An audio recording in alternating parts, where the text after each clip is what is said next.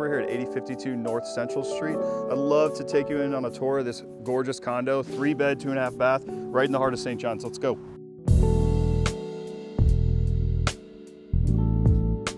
There's so many places to be in this house from this big open kitchen, dining area, open living area. It really makes the room feel just so big.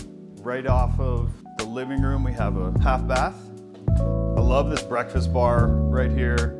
There's seating for so many people. If you're having friends over, there's seating for easily eight to 10 people if you like entertaining at home. Let's take a look at the patio right off of the dining area. This is a really nice private little patio up here where you can sit out and have dinner.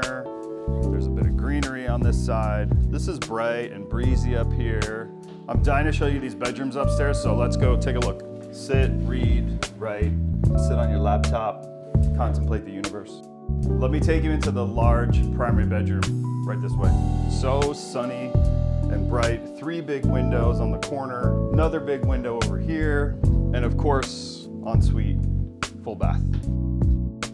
Linen closet, washer and dryer, super convenient. You don't have to run up and down the stairs to do laundry. It's right across from both the bedrooms on the top floor. Full bathroom right off of the second bedroom over here.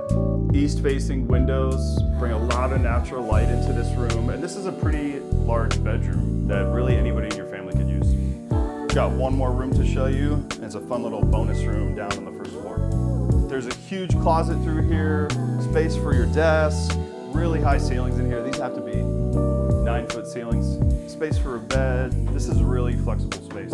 So this bedroom leads right out into the courtyard.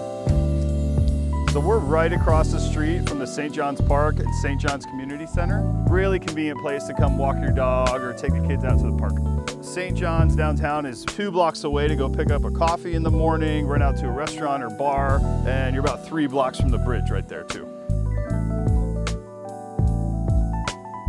Come on out and take a look at this property before it's gone.